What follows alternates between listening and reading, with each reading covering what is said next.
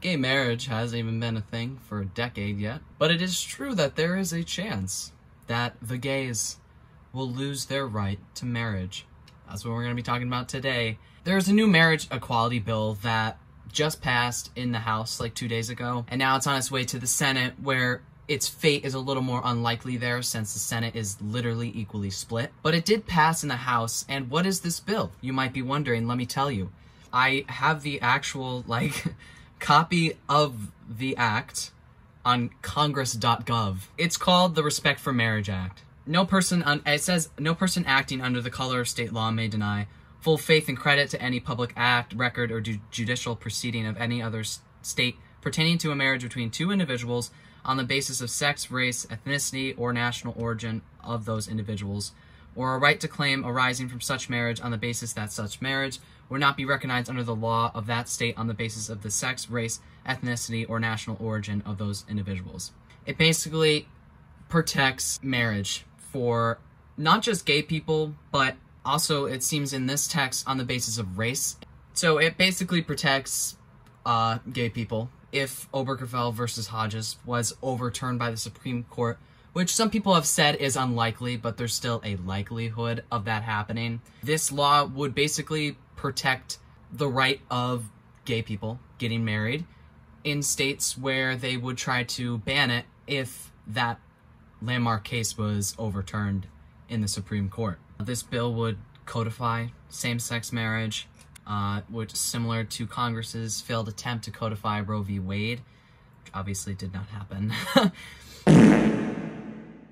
Uh, this article says, put simply, the RFMA creates a backstop to ensure that every same-sex couple can retain protections after Obergefell's demise if their own state nullifies their marriage, and it does so on strong constitutional grounds that should withstand any legal challenge. This bill would repeal DOMA, which is what I choose to call it, which is a bill from 1996 that imposed a federal ban on same-sex marriage, denying federal rights and privileges to same-sex couples who are married under state law.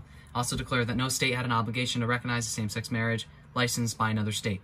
DOMA stands for Defense of Marriage Act. It was intended to define and protect the institution of marriage.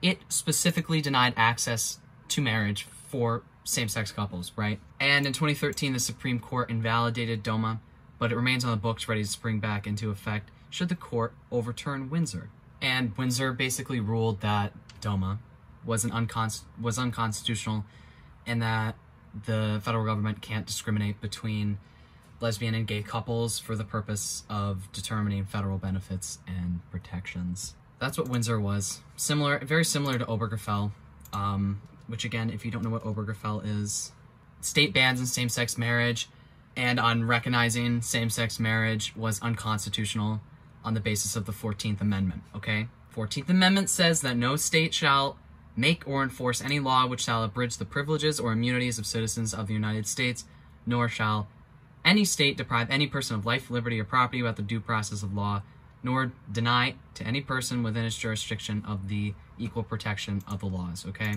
Conclusion, it would repeal DOMA, and it would protect the right to get married if you're a same-sex couple if o- Obergefell or Windsor was overturned by the Supreme Court. And this article goes into all the, the law speak and why this is like a constitutional law to pass. And of course, something like this, something that would codify gay marriage, wow, were Republicans upset about it. They are mad. They don't want us to live, man. Ted Cruz, he says SCOTUS is clearly wrong to legalize gay marriage. Okay. So, Senator Ted Cruz said Saturday that he believes the Supreme Court was clearly wrong when it decided in a historic 2015 ruling that same sex marriage was legal under the Constitution. In a video uploaded to YouTube from his Verdict Plus podcast, Ted Cruz has a podcast? Cruz discussed what was described as the vulnerability of the Obergefell ruling. He argued that the ruling was not correctly decided, making a similar argument to the Supreme Court Justice Clarence Thomas in his concurring opinion the top judicial body formally overturned Roe v. Wade. So he says, Obergefell, like Roe versus Wade, ignored two centuries of our nation's history. Marriage was always an issue that was left to the states. We saw states before Obergefell, some states that were moving to allow gay marriage, other states that were moving to allow civil partnerships. there were different standards that the states were adopting. Okay. So again, our favorite fucking argument that everything should be left up to the states apparently. Nothing can be federally protected or there can't be any federal laws. There are some things that should be federally protected. I've said this before and I'll say it again. The only reason that these people do not like a law that federally protects gay marriage is because they don't want gay marriage to be a thing. These are the same people who said that they don't want, for an example, the people who wanted Roe v. Wade to be overturned. They want a federal law that completely bans all abortions in every single state. They don't care about it being a statewide thing. They don't want states to decide what laws to pass in their own state. What they want is their agenda to be pushed, which is fucking so backwards. I feel like I'm in the Stone Ages, man. They just don't want gay marriage to be a thing. Respect for Marriage Act does not get passed in Congress, and Obergefell gets overturned, probably half the states would immediately ban same-sex marriage. And they don't want it to be just those states. They like I said, they want every state to ban same-sex marriage because they hate they hate gay people. They they hate queer people. It disgusts them. And like I said, this bill is now going to go to the Senate where they need to find 10 Republican senators to override a potential filibuster and pass it. Which the likelihood of that happening, I'm sorry to be grim, but it's low. Republicans rarely, if ever, vote outside of their party. Matt X Ivy, uh, he has a Twitter. He's a fellow queer. They post some really great stuff, so you should you should follow him if you want. So they made a little presentation. It says, "Let's take a look at how they honor the traditional definition of marriage in their own lives." Which again, they are calling this an attack on traditional marriage. Gay people, they are attacking traditional marriage. Let's see how they live their traditional marriage lives that they love to preach. Again, all credit to, to Matt. Lauren Boebert voted against it yesterday. She's been outspoken about how LGBTQ people are grooming kids. Of our favorite argument, just throwing around the word groomer, even though, yeah, and causing it to lose all meaning. but has been relatively quiet about how her husband was arrested in 2004 for exposing his genitals to a group of teenage girls in a bowling alley.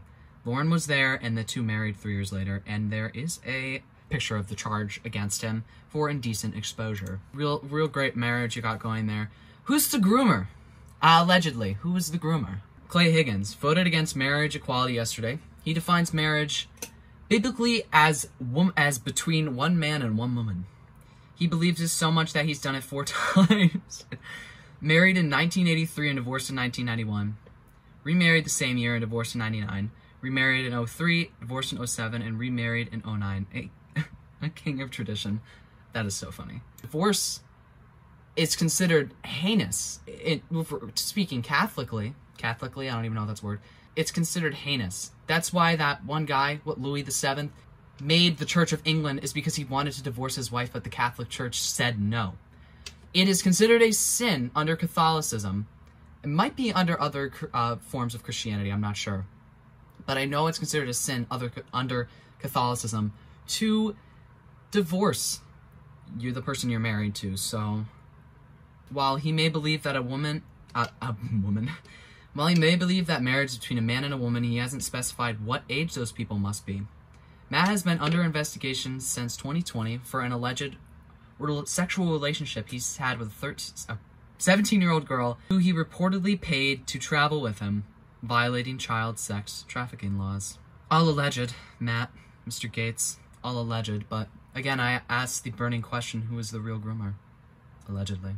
Marjorie Taylor Greene. She spent much of her career preaching Christianity and recently claimed that straight people will soon be extinct. She also spends a lot of time in the gym, where she's reportedly had extramarital affairs with two men. So cheating is okay, allegedly.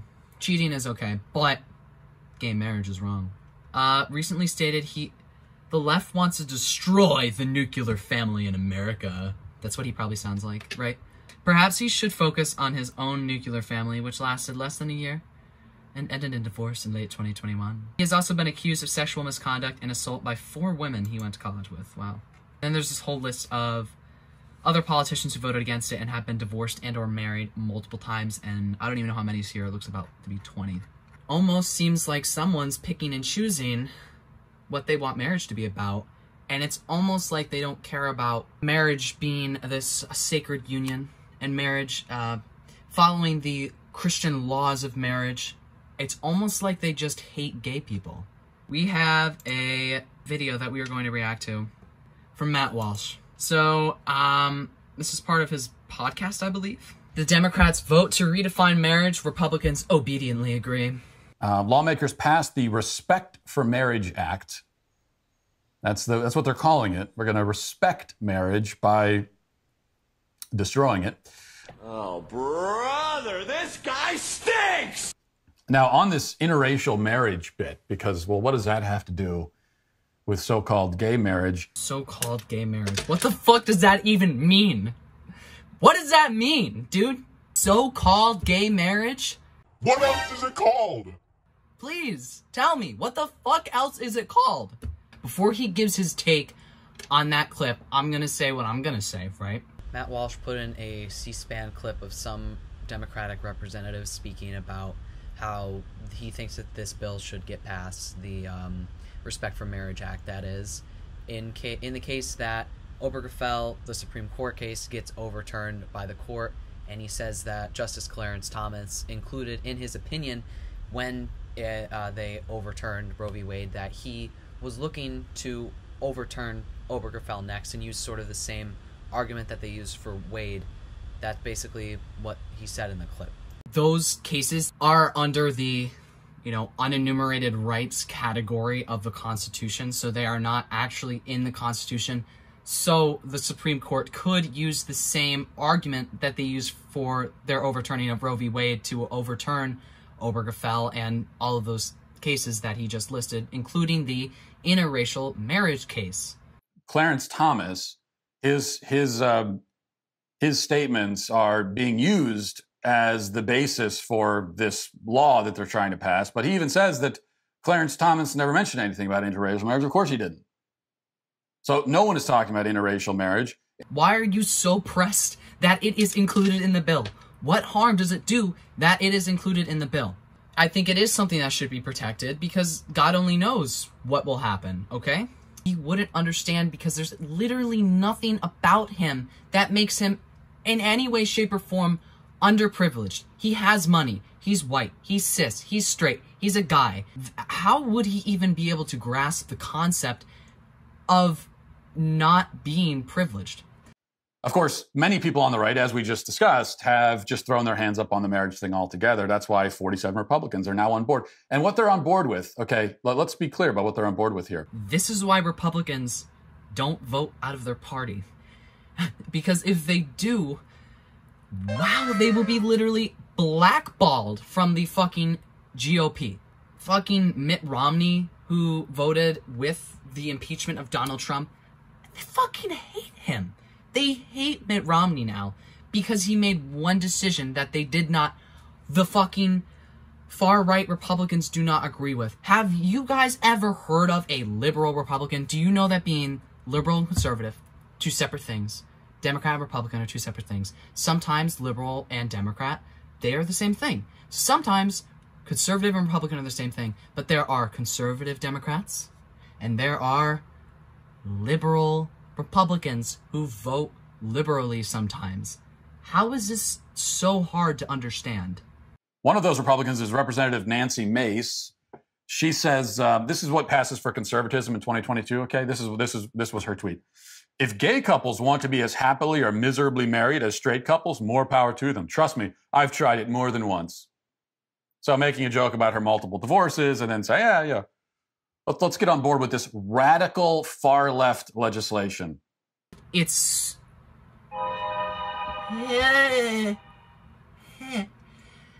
It's radical to say that two people of the same sex should be able to get married legally. That affects yeah, you know, one of the fundamental building blocks of human civilization. Your fundamentals are based on religion and a hatred for gay people that has lasted for centuries. Those are your fundamentals. It's pretty pathetically weak of an argument to say that Republicans have so many just weak arguments uh, for why they don't support certain uh, equalities. It's all based on this fucking weird philosophical ideas and just beliefs instead of facts. If two things are equal, they are the same. We heard about the demo, you know we, we just heard that marriage is is is equal, marriage equality. Are same-sex unions the same as equal to heterosexual unions? Um, yes. I'm gonna go out on a limb here, and I'm gonna say yes. Here's my argument for you, Matt Walsh. Your biblical beliefs should not coincide with government. Separation of church and state was something that the founders believed in. That's my argument. The people who made this country, who wrote your precious Constitution, believed in a separation of church and state. Let's keep in mind, not everyone is Christian. People of all different religions or non religions who live in the US, and the laws that they have to follow should not be based off of a book that you personally believe in. Is this clear enough for you, dude? The reason why I'm bringing up the religion thing is because the biggest preachers of same sex marriage being wrong are ca- Catholics, certain Christianity. Um, yes, there are people who believe in Islam who don't support same sex marriage, and people who believe in Buddhism and all these different religions who don't believe in same sex marriage, but largely it is Christians who really, really push this belief on people that same sex marriage is wrong based on what God said and being able to procreate and whatever the fuck. And it's just wrong, not just because it's homophobic, but also there are people who are in those religions or people who don't believe in those religions who believe that same sex marriage is okay. And you can't just push a belief on somebody uh, federally, legally, just because you believe in that one thing and that's like your philosophical belief is that your god thinks that that's good it's just not it's not okay and there should be a separation between church and state Are these two, whatever labels you put on them, are these two categories the same? Clearly not. Why aren't they the same? Well, because the union of a man and a woman has, in principle, the potential to create of itself a whole new life. The union of two people of the same gender does not have that potential, period. Isn't that sort of messed up to just strip marriage down? You know, it's a union between two people who love each other, people who want that to be legally recognized. You're just stripping it down to being able to make babies. So that's all marriage is to you. Why are you stripping it down to be so barbaric? And now marriage is solely defined on two people, a man, a cis man and a cis woman, who can get married and make a child. What about people who are married and who are heterosexual who can't make a child for whatever reason? Maybe they're infertile or something else is the reason, or they want to adopt. Is their marriage not seen as equal now because they cannot make a child? But we don't reduce it down to baby making if the one of them is infertile, right? Because they're a heterosexual couple. so he explicitly says the potential to create life and then he goes on to say that um, non-normal families ruin society and whatever else um, and i just like why is he not attacking straight couples who get divorces who have uh, extramarital affairs who um, don't have children who can't have children and have to do use a surrogate or a sperm donor or something else like how come those people aren't under extreme attack by matt walsh but the gay people who have probably healthier relationships are. Make it make sense. And, and, and you'll notice that the people who tore down so-called traditional marriage, they never, they never did offer a new definition of marriage or, or and, they, and, then, and they never explained what marriage's new purpose is. Marriage is a union between two people who love each other and want to be legally, they want that love to be legally represented. There's my definition. It's pretty easy, actually. It's easy to understand what I'm saying. Again, even if you don't agree with it, you can still understand what I'm trying to say because it's very clear. Union between a man and woman has, in principle, the potential to create human life. I do understand what you're trying to say, and I, I disagree, and I think you are wrong, and I just listed why I think you're wrong. So He goes on to say that my argument of marriage being between two people who love each other is wrong because why do you need to get married to love each other? Um, which is just so stupid, such a stupid thing to say. Like I said, marriage isn't just being able to produce a child. It's not. Marriage is about love and trusting someone enough and the legal benefits that come with being married to someone who you trust with your life um like it's so much deeper than having a child. And like he knows this. He's very aware. He's just using this really poor argument.